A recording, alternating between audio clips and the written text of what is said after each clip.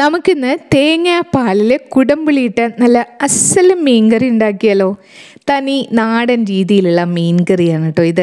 അതുകൊണ്ട് തന്നെ മൺചട്ടിയിൽ തന്നെ വേണം ഇത് തയ്യാറാക്കാനായിട്ട്. ചട്ടിയിലേക്ക് കുറച്ച് കുഞ്ഞുള്ളി ചതച്ചതും ഇഞ്ചി ചതച്ചതും പച്ചമുളകും കറിവേപ്പിലയും മഞ്ഞൾപ്പൊടിയും മുളക് പൊടിയും ഉലുവാപ്പൊടിയും കുടംപുളിയും തേങ്ങാപ്പാലും ഉപ്പും ചേർത്തിളക്കി അടുപ്പിൽ വെച്ച് തിള വരുമ്പോൾ മീനും ചേർത്ത് കുറുകി വരുമ്പോൾ കുഞ്ഞുള്ളി വെളിച്ചെണ്ണയിൽ മൂപ്പിച്ചിട്ട് മണം പോവാതെ അടച്ചു വയ്ക്കണം ഈസി സിമ്പിൾ ആൻഡ് ടേസ്റ്റി മീൻ കറി റെഡിയാണ്. സൂപ്പറാണ് കേട്ടോ അപ്പോൾ എനിക്കിഷ്ടമായി നിങ്ങൾക്കും ഇഷ്ടമാവുമെന്ന് ഞാൻ പ്രതീക്ഷിക്കുന്നു. വീഡിയോ ഇഷ്ടമായാൽ സബ്സ്ക്രൈബ് ചെയ്ത ശേഷം ഒന്ന് ലൈക്ക് ചെയ്യുക. അതിനുശേഷം ഇഷ്ടമുള്ള ഒരാൾക്കെങ്കിലും ഒന്ന് ഷെയർ ചെയ്യാൻ മടിക്കല്ലേ? പേജ് ഒന്ന് ഫോളോ ചെയ്യാനും മറക്കരുത്. അപ്പോൾ ഇനിയും കാണണം. ഇനി കാണും വരേക്കും ബായ് നിങ്ങളുടെ സ്വന്തം പ്രവാസീസ് പാരഡൈസ്